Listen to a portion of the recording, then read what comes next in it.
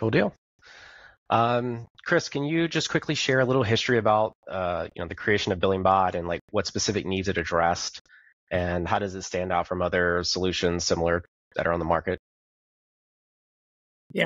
So, like I said, BillingBot started as Invoice Bootstrapper, right? It was a PowerShell tool. It was a very rough kind of band aid solution for uh, rebilling Pax8 because we historically have sold a lot of Pax8 at TechPulse, and it was something that would take seven to 10 days for somebody to go through and like manually reconcile those Pax8 charges against your invoices.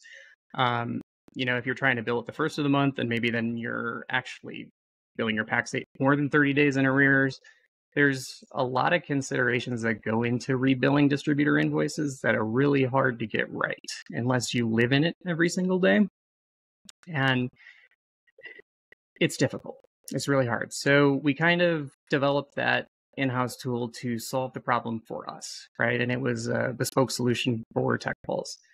Well, when we started doing Halo PSA implementations, we found that this was actually a more widespread issue uh, than we thought, and it's you know not even a Halo PSA deficit at all. It's all PSAs have to be built in a way that everybody can use them, and that excludes or precludes you from developing certain features that may be bespoke to certain markets or industries or the way that certain MSPs operate. So it's really hard, you know, to get it right.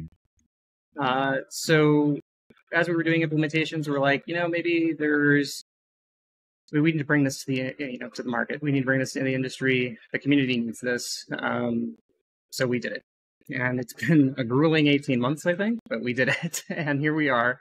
Um, you know, BillingBot is out in the wild. People love it. Um, we're getting great feedback. Um, really proud of what we put out. Yeah, absolutely.